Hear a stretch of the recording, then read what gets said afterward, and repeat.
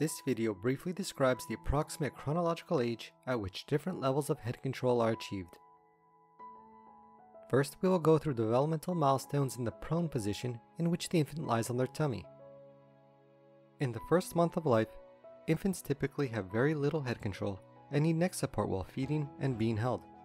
During this first month, they may move their head from side to side, but by the end of the month, most infants can briefly raise their head off the table.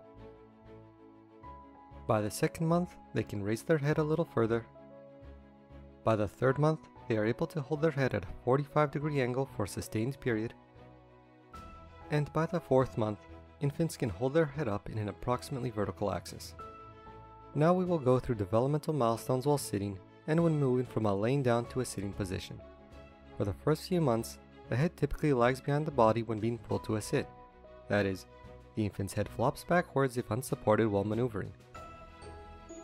By the second month, early head control has developed, but the head still bobs while the infant is held in a sitting position. By 3 months of age, the infant attempts to keep their head steady when pulled to a sitting position.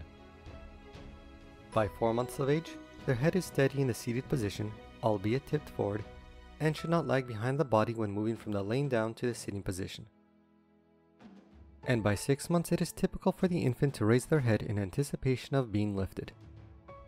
All of these skills are typically acquired by the aforementioned chronological ages.